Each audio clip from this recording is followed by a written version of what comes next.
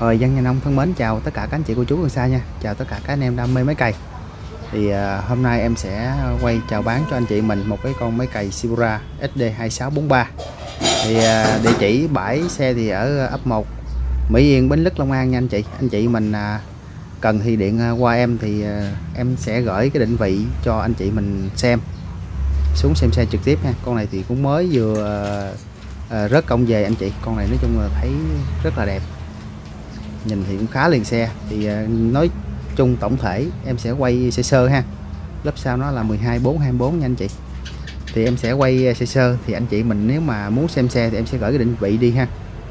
Cho dễ, chứ còn ở đây thì mình à, mua trâu mà giải bóng thì nó cũng không có à, ưng ý nha anh chị ha. Con này được thấy nước sơn rồi thấy cũng rất là liền lạc luôn nha. Thì động cơ nó là con này động cơ ba máy nha anh chị. Con này là có trợ lực nha em sẽ báo giá luôn. Giá bên bãi người ta báo là 125 triệu ha. Thì hiện tại như anh chị mình cũng đã biết rồi thì nếu mà mình quay không báo giá thì anh chị mình à, nói này nói kia ha. Nhưng mà mình báo giá thì đôi khi anh chị là nói uh, sao mắc sao rẻ. Mắc rẻ thì anh chị mình phải xuống xem xe trực tiếp thì anh chị mình mới khẳng định được cái con xe nó như thế nào. Ở xã hội bây giờ thì anh chị mình biết rồi cái rẻ mà ngon thì không có lẽ là không có đâu. Nó có đó anh nói thật sự ha. Xe Nhật nhập về nó rất là nhiều dòng nhiều chủng loại nha anh chị. Như cũng như là hàng đấu giá và cái hàng dây chai nó sẽ trên lệch khá là xa.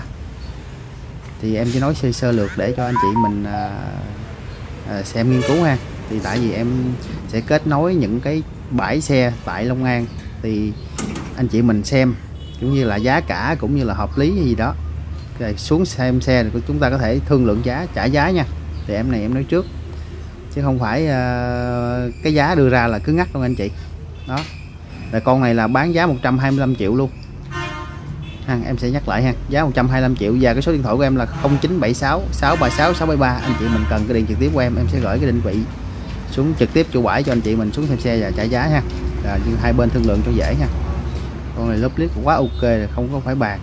Thì do cái điều kiện và cũng như là cái thời lượng mình à, quay ngắn anh chị thì mình không có test sơ xe ha. Thì mình chỉ quay cho anh chị xem tham khảo thôi. Ví dụ anh chị mình mà thấy nhắm mà cái phù hợp với cái nhu cầu của công việc mình làm á.